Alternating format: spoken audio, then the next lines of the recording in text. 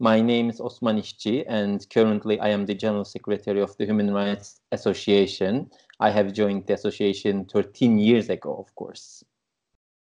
And I am in charge of operations in the organization, and I'm coordinating our activities with 40 branches across the country.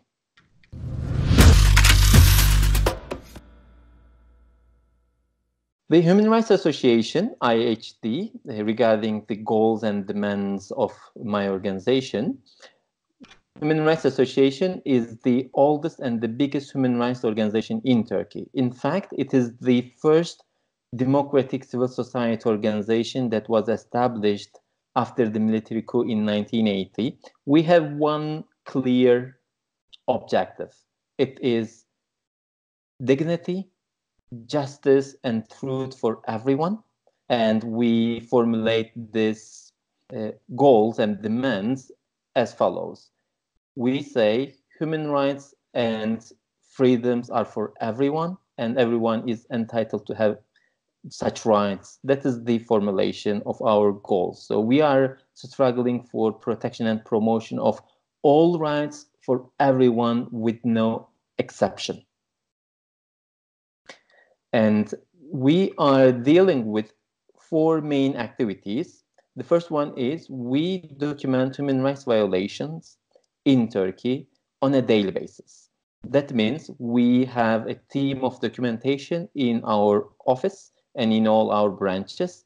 They are scanning media, local and national media, for human rights violation reports. Plus, we receive applications from the citizens who are claiming human rights violations or who think that their rights are violated. So we have this documentation that is the key activity for us and for any conventional human rights organization. In addition to documentation, we are providing free legal and medical assistance to those who are in need of such services. Of course, such services require human resources, financial resources, so we provide such services within the scope and capacity of the organization. As for number three of main activities, we conduct advocacy activities at the national level and international level before the authorities in Turkey, namely the parliament, the ministries, governors, MPs, etc and also at the international level, like the UN, United Nations, particularly for the Human Rights Office, the Council of Europe, the European Commission, European Union, and also other international bodies like the Amnesty International, Human Rights Watch, Frontline Defenders, etc. And as for number four, we are conducting activities, general activities to raise awareness about human rights principles and values in general. For this purpose, we organize panels, conferences, meetings. We have trainings for our young activists and women activists mainly, and we have press conferences, etc. So these are the four main areas that we are active. Of course, we since we are the oldest and the biggest human rights organization, we are dealing with all human rights issues. We have a holistic approach with regard to the human rights principles. That means if there is any issue that we are not dealing with, it is not because of our human rights perspective or philosophy, but because of lack of human resources, lack of financial resources. We are dealing with the Kurdish issue, the peace issue. We are dealing with gender rights, freedom of expression, prison issues, environmental issues, children rights, disabled rights, pedestrian rights, etc. So we are dealing with all human rights categories. Again, I need to repeat that it is related to our human resources if we are not dealing with any issue related to human rights in Turkey. And for this purpose, we have joined several international organizations, namely the International Federation for Human Rights, FIDH, based in Paris. And we are also a member organization of the Euro-Mediterranean Human Rights Network based in Copenhagen and also the Euromed Federation for Enforced Disappearances. These three organizations are our uh, federations that we have joined. At the national level, we have either established national organizations, platforms such as the Human Rights Joint Platform, the Human Rights Foundation of Turkey for the torture and rehabilitation purposes, Children Rights uh, Platform, or we have joined platforms for human rights like the migration rights or the democracy issues, etc. So we are dealing with all these issues because for us, human rights and democracy are intermingled and you cannot separate these two concepts. And we are dealing with democratic issues in this country, and we are also dealing with human rights in this country. So we cannot separate them. We are dealing with these two issues or problems related to these two concepts at the same time. So we are struggling for all these issues. The human rights situation has never been ideal in my country, Turkey, unfortunately. This is why we are still active. When our founders established the Human Rights Association, they were thinking that there would be no need for the organization for the association in next 20 years. They were too optimistic, it seems, because now it is 33 years have passed and we are still active. And to me, this organization will be active maybe in next 70, 80 years, maybe 100 years in the future. So since the situation has never been ideal with regard to the human rights situation in Turkey, we have been dealing with all these issues but there are some turning points in the history of this country. For example, for the current period, the turning point is the military coup attempt and the declaration of the state of emergency. Because after the state of emergency has been declared, what we have seen is that there are practices and policies that violate the ban on torture and rehabilitation. That's one key problem that we see that there has been a dramatic increase in this torture and rehabilitation, torture and ill treatment practices. The other issue is that there is no freedom of expression any longer. When I say there is no, I mean it is almost impossible to express any dissenting voice, any oppositional ideas and opinions on the issue, on any issues in the country. This is why we have so many journalists in prison. Now, currently, there are 137 journalists in prison, and much more than are facing trials while they are not in prison, which is good. And in addition to that, we see that there is no freedom of assembly all forms of public gatherings are subjected to the governor's permission and usually they don't allow anyone to take the streets and if people insist on this if people are insisting on taking the streets then security officers use excessive violence and to from our perspective this use of excessive violence amounts to torture and re, uh, torture and ill treatment practices. In of course these are the key issues but we see that there is also the kurdish issue because kurdish issue is one of the key problematic area. Anyone who is dealing with peace and kurdish issue might be subject to judicial investigations administrative investigations or other forms of harassment including physical attacks verbal attacks defamation and also criminalization.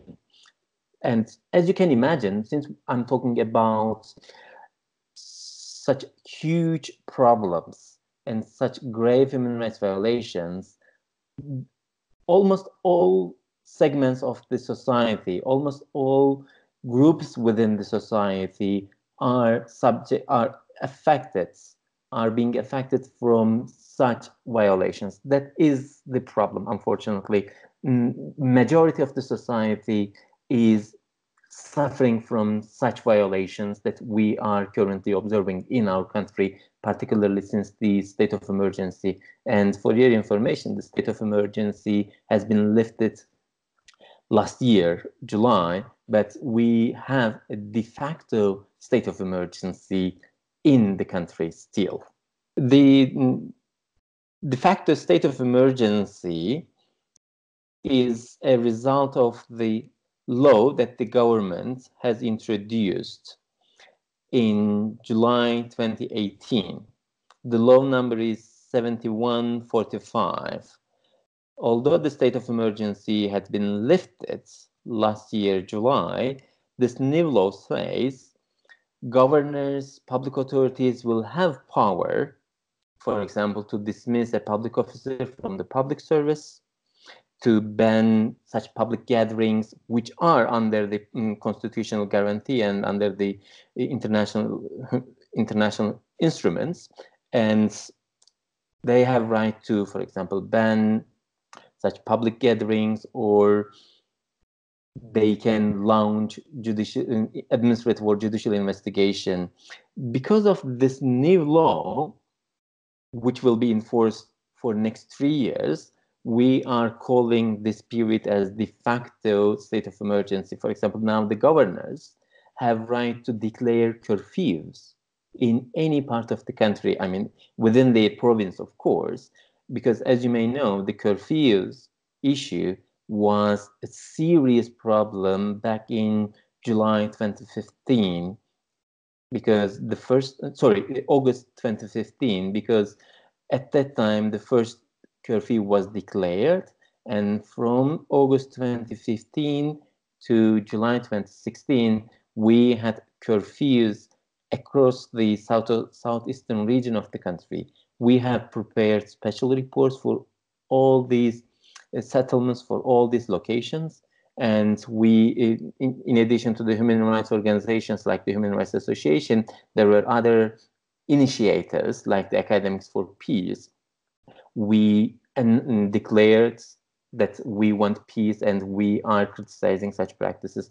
This is what I mean when I say there is this de facto state of emergency because although the official state of emergency has been lifted now the govern the governors and the public authorities have still power to exercise such practices or such policies within next three years. The academics for peace demands and activities what we have done what the academics for peace has done. It is an initiative that was established back in 2012. It was a period of hunger strikes in prisons and political prisoners who were either PKK member or accused of being a PKK member.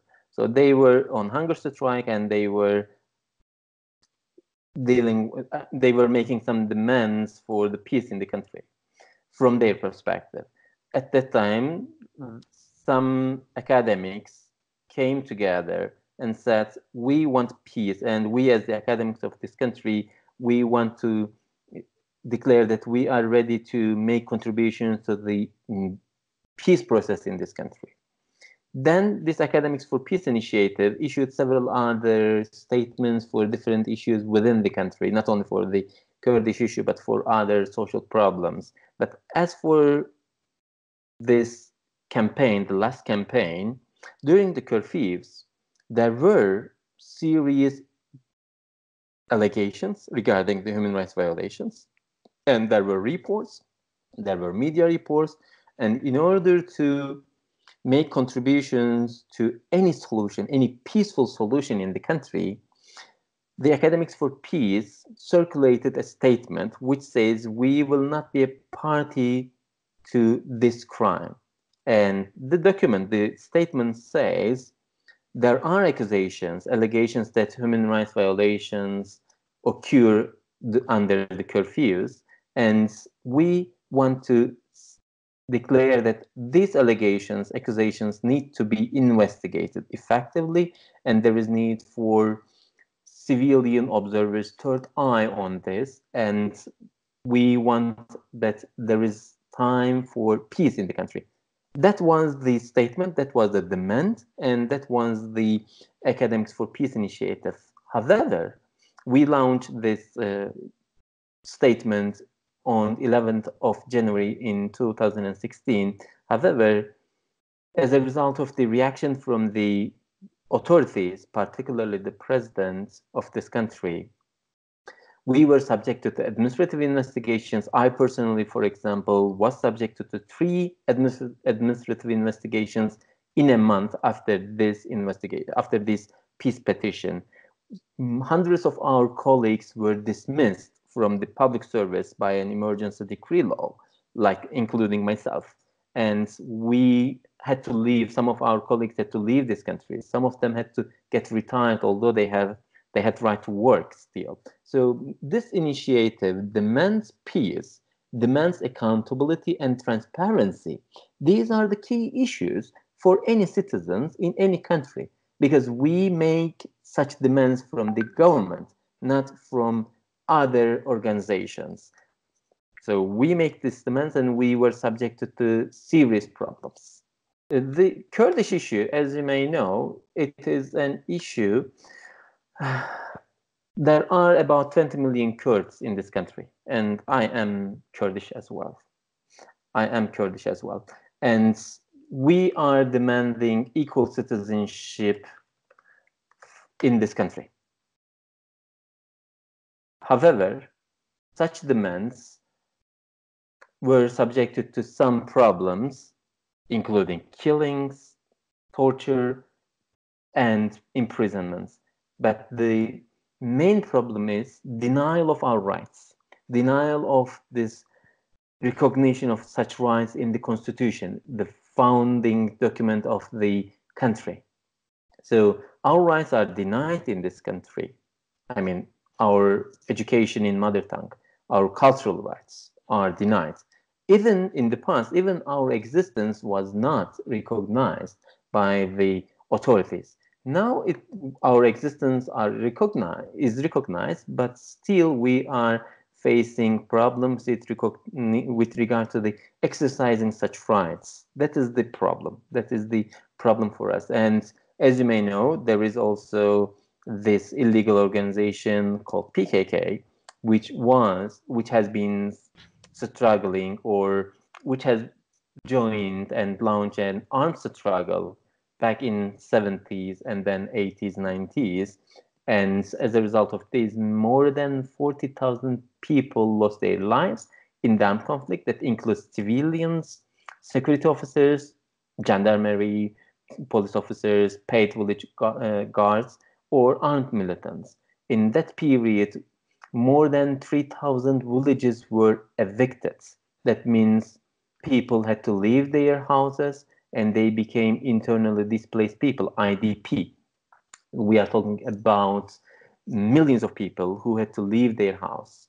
So uh, it's a long issue, more than four decades, that people are demanding their rights, and their rights are not recognized by the uh, law and authorities. There is also this illegal organization which is mm, joining and which is conducting an armed struggle, etc. So it is complicated.